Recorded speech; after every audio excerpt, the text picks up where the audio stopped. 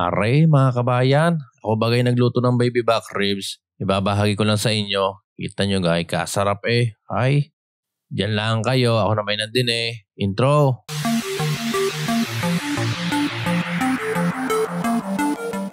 Napakasimple lang naman ang gawin. Ayan ang ating baby back rib. Lalagyan lang natin ng smoked paprika. Ayan, atin lang ikukot lahat yan. Yung matatabunan lahat para kainaman ng lasa. Kapit na kapit. Ayan. Atin lang ipapamahagi ang smoked paprika. Yung kabila din, baka magselos. Ayun din ating gagawin. Ikukot lang natin lahat. Yung hindi nyo makikita ng laman. Sa mga hindi nga pala nakapag-subscribe sa mga bago lang sa aking channel, pakiklik na subscribe button pati na rin notification bell para lagi kayong updated sa aking mga bagong video. Ayan na. Dagdagan pa natin para hitik na hitik ang lasa. Ayan, sa may foil, ating ilagay ang ating pork ribs. Ating lang babalutin niya at lulutuin natin sa oven. Sa ating sasaraduhang mabuti para maluto yung loob. Ayan, mga lulutuin natin yung mga dalawang oras. Habang ginagawa ko nga pala yun ay nakapreheat ng ating oven. Medyo mainit na yon Pagka sinalang ko eh, sa pinakamahinang apoy, dalawang oras niyong lutuin para malambot na malambot, tender siya. Yan, kumuha tayo ng tray.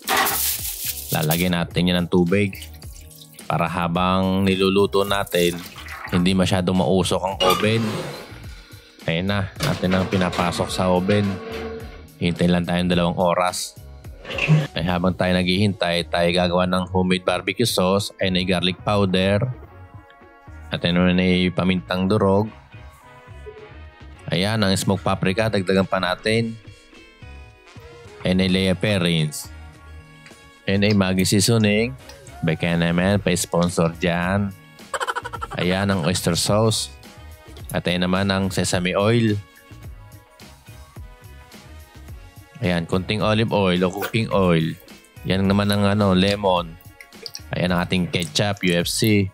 Pa-sponsor naman. At ayan ang brown sugar, hindi mawawala para medyo matamis ang ating barbecue sauce. Ang mga lutuin ko nga pala tansyahan laang. Inyong titikman kung anong kulang. Inyo na lang dadagdagan. Tayo na may iba-ibang ating panlasa eh. Yan, atin lang haluin yan hanggang sa matunaw yung asukal na pula.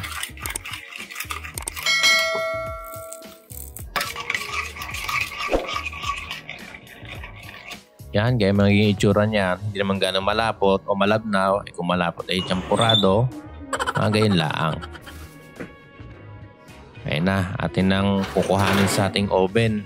Lumipas na dalawang oras. Atin nang pupunasan niya ng barbecue sauce. Ayan ang ating pork ribs. Yan ang magiging itsura. Pagkalipas ng dalawang oras. Yung kita nyo gambot oh medyo malsa na na konti pero hindi pa tapos yan. Pupunasan lang natin yan ng ating homemade barbecue sauce.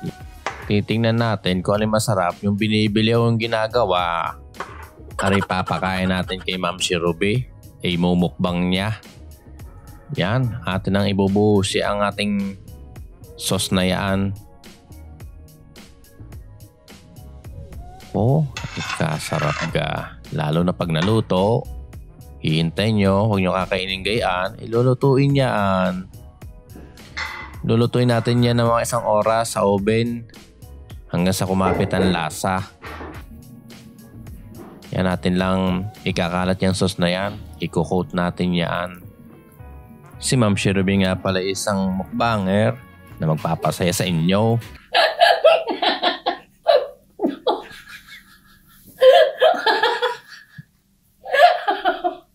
Hindi naman ako madaldal, eh, konti lang.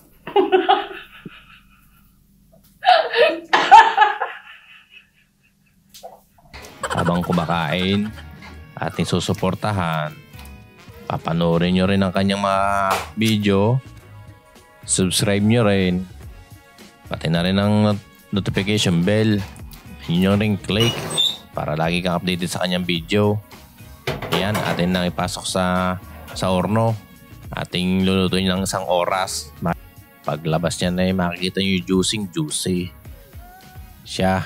Habang tayo naghihintay, tayo papasalamat sa ating mga members. Andiyan si Jigs TBE, si Togs Videos, si Ma'am Shirubi, si Evelyn Rolyon, Venus Amugis, Michael De Mayuga, James Flavor Home Cuisine, Evelyn Star, yan din si Honeymaze TV, si Sander Lia Family, andyan si Megs Mix Vlog, Pinakata Team Vlogs, Honey Rose Vlogs, at ang ating huling nagpa-member si Nuisky Vlogs. Ating susuporta na kanilang mga channel. Salamat. Ayan na, lumipas ang isang oras. Ating titingnan kung ano baga. Kung naaari na baga o hindi. Ayan, ano sa tingin nyo? Masarap baga o hindi? Kita nyo naman yung buto doon eh. Medyo umiwalay na. Ayan na. Yun. Tingin pa lang ay parang kasarap. Siya, hanggang dito na lang ang ating video. Maraming salamat sa pagsubaybay sa aking channel at pag pagsama sa akin hanggang dulo. Salamat, hindi nyo rin ni-skip ang ads, pambili na akin ingredients.